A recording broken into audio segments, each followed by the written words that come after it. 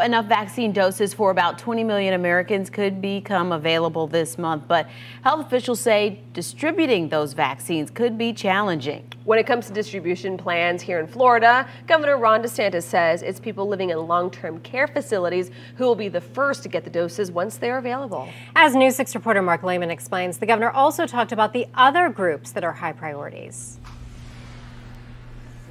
The priorities released yesterday is a slight shift in recommendations from the CDC. The governor says that's because people living at facilities like this one are at the highest risk, and a vaccine will significantly drop the mortality rate.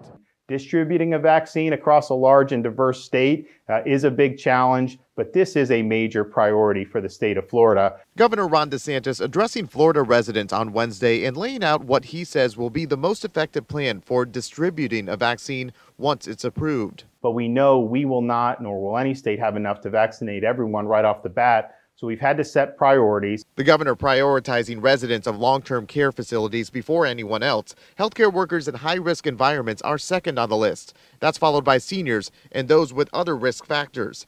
Lori Kovac says her staff and residents at Sonata in Winter Garden have been anticipating the announcement. The vaccine is going to mean life. It's going to um, bring life back to the communities. It's going to allow our family members to come back in. However, most of the population will have to wait.